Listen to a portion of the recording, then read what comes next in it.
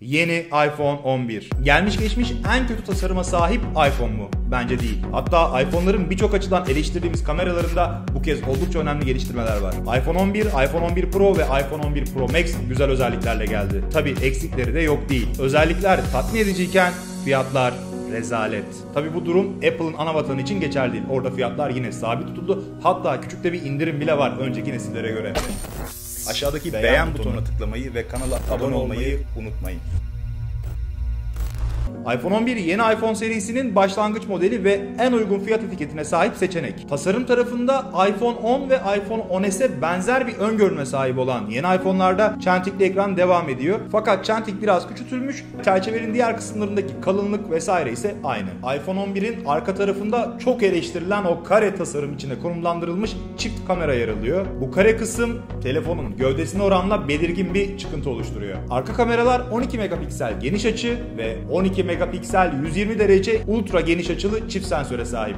iPhone 11 1792 828 piksellik 326 ppi değerinde 6.1 inçlik Liquid Retina LCD ekrana sahip. 12 megapiksellik ön kamera ve hızlandırılmış Face ID için TrueDepth sensörlerde ön taraftaki bu küçük çentikle yer alıyor. Buradan da anlaşılabileceği üzere iPhone 11'in bir önceki neslin başlangıç modeli olan iPhone XR'ın yerine konumlandırılmış bir model olduğunu da söyleyebiliriz. 4 GB RAM, 64, 256 ve 512 GB depolama seçenekleriyle gelen iPhone 11 3110 mAh batarya ile 28 saat kullanım süresi vaat ediyor. Bunu mutlaka denemek lazım ama kullanım şekli bu süreyi tabii ki etkileyecektir. Type-C 2020'ye kaldı. Yeni iPhone'larda Lightning girişi devam ederken yine hızlı şarj ve kablosuz şarj destekleniyor. Wi-Fi 6, Bluetooth 5.1, 4G LTE bağlantı seçenekleri sunan iPhone 11 yeşil, mor, beyaz, siyah, sarı ve kırmızı yani Product Red seçeneğiyle satın alınabilecek. ABD satış fiyatı 699 dolar olan iPhone 11 geçen yıl 749 dolar fiyat etiketiyle satışa sunulan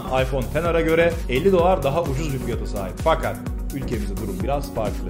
iPhone 11'in Türkiye satış fiyatı başlangıç modeli için 9900 lira resmi olmayan kaynaklara göre. Fakat zaten aşağı yukarı biliyorsunuz bu fiyatlar doğrulanıyor ve bu fiyatlardan satışa çıkıyor. Gelelim iPhone 11 Pro ve iPhone 11 Pro Max'e. Bir iPhone 11 Pro Max sahibi olmanın en zor taraflarından biri hangi telefonu kullanıyorsun dediklerinde iPhone 11 Pro Max demek. Ama diğer özellikleri çok güzel. iPhone 11 Pro modellerinde arka tarafta yine aynı kare tasarım içerisinde konumlandırılmış 3 kamera yer alıyor iPhone 11 Pro ve iPhone 11 Pro Max portre modu ve özel filtrelerin yanı sıra gece modu ve geniş açı gibi özelliklere de sahip. 3 adet 12 megapiksellik arka kameranın her biri 4K 60 FPS video kaydı yapabiliyor. Geniş açı kamera f1.8, telefoto kamera f2 ve ultra geniş açı kamerada f2.4 diyaframa sahip. 4x optik zoom ve yapay zeka desteği de önemli özelliklerden. iPhone 11 Pro 458 ppi yoğunlukta 2436'ya 1125 piksel çözünürlüğe sahip 5.8 inç OLED Multitouch Super Retina XDR full ekrana sahip. Pro Max modeli ise 458 ppi yoğunlukta 2688'e 1242 piksel çözünürlüğe sahip 6.5 inç OLED Multitouch Super Retina XDR ekrana sahip. Bu açıkçası piyasadaki akıllı telefonlar içerisinde en en iyi ekran gibi görünüyor. Dolby Vision ve HDR10 desteğine sahip olan her iki modelde de True Tone ekran ve 3D Touch gibi özellikler mevcut. iPhone 11 Pro, XS Max'te de olduğu gibi başarılı bir çift hoparlör ile video ve film izlerken çok daha etkileyici bir deneyim sunuyor. Yeni iPhone'larda parmak izi sensörü yok. 7 nanometrelik A13 Bionic işlemci yongasından gücünü alan yeni iPhone 11 ve iPhone 11 Pro modelleri IP68 suya ve toza dayanıklılık sertifikasına sahip ve özellikle Pro modellerin bugüne kadar bir akıllı telefonda kullanılmış kullanılmış en sağlam camla kaplandığı belirtiliyor. Özellikle çizilmelere karşı oldukça güçlendirilmiş bir malzeme söz konusu.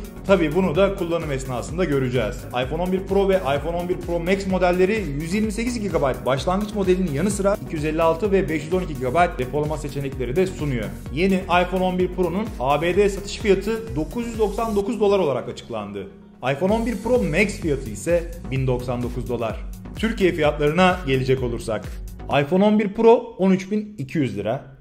iPhone 11 Pro Max ise 14.500 lira başlangıç fiyatına sahip olacak yine resmi olmayan kaynaklara göre. Fiyatlar oldukça yüksek. 1000 dolarlık bir telefonun 13-14 bin bandında satışa sunulacak olması gerçekten bütün bu telefonla ilgili düşüncemizi değiştiriyor mutlaka. Tamam sonuçta bu resmi olarak açıklanmış fiyat değil ama her zaman biliyorsunuz buna çok yakın rakamlar ya da bu rakamlar üzerinden telefonlar satışa çıkıyor. Note 10 videosunda da söylediğimiz rakam zaten gerçek satış fiyatı olarak açıklandı daha sonra. Muhtemelen iPhone'larda da buna çok yakın bir rakam olacaktır. Bununla birlikte hatırlarsanız geçen yıl bu zamanlar yeni iPhone modelleri tanıtıldığında yine internetteki Apple Store Türkiye mağazası kapatılmıştı diğer mağazalar gibi ve tekrar açıldığında tüm eski iPhone modellerini iPhone X ve iPhone 8, 8 Plus modellerine zam yapıldığını görmüştük. Bu kez çok daha farklı bir şey oldu. Yine mağaza kapatıldı ve her zamanki gibi bir süre sonra lansmandan sonra mağaza açıldığında şunu gördük ki iPhone XR modeli yani XR modeli 1000 lira 900 lira seviyesinde bir indirimle satışa sunulmuş. Bu da Apple'da bir ilk kabul edilebilir. İlk defa fiyatlar aşağı çekiliyor. Muhtemelen yeni iPhone'larda da bu fiyatlar aşağı çekilecek. Çünkü bu şekilde satılması gerçekten Bundan 5 önce yaptığımız programda söylediğimiz hemen hemen her şey doğru çıktı. Sadece Type-C'ye geçmedi. Onu da 2020'ye bıraktı zaten Apple.